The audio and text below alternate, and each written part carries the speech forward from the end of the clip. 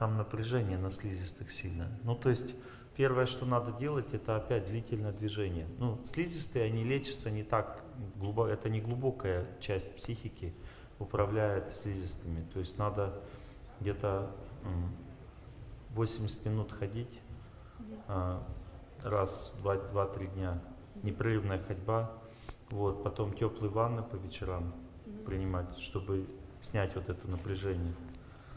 Можно тоже раз в два дня. И можно записаться к нам на лечение семенами.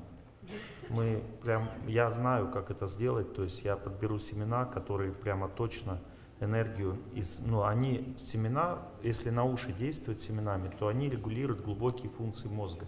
И можно прямо энергию направить семян, ну, поставить в ту точку, которая связана с этими слизистыми. И у нее там ну, расслабится то все, и она не будет, э, по крайней мере, на какой-то процент, там процентов на 40, 50, 60 можно уменьшить, а может быть и совсем убрать эту болезнь. Но все равно она должна учиться правильно жить. Потому что напря- это просто напряжение, там сухость означает напряжение. И она убирается длительным движением и неподвижным положением тела. Я вам сегодня буду говорить все эти закономерности такие, они очень простые вещи, как быть здоровым.